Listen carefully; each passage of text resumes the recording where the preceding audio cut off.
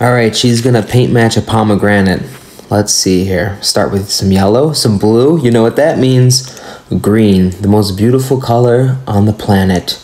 And also, the base of everything. Green equals nature. Fruit is nature, pomegranate is nature. Therefore, you must start with green.